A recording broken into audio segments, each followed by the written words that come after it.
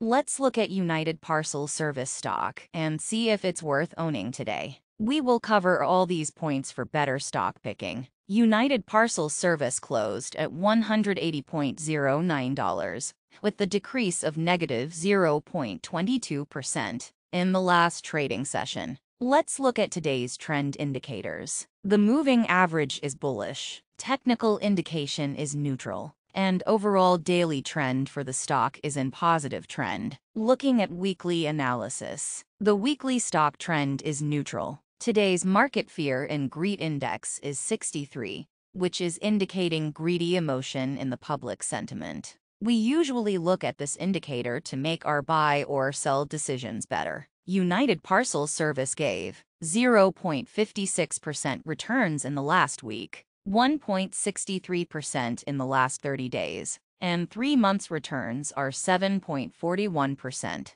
Now let's have a look at simple moving average data. Moving average indicates that what could be the next footprint of the stock price in near future? 5-day average is 178 with a bullish indication. 10-day is 179 with a bullish indication. 20-day average is 178, which is a bullish signal. Let's look at fundamental analysis. We will mainly see the last two quarters of the company. In June 22, the revenue was $24,766 million.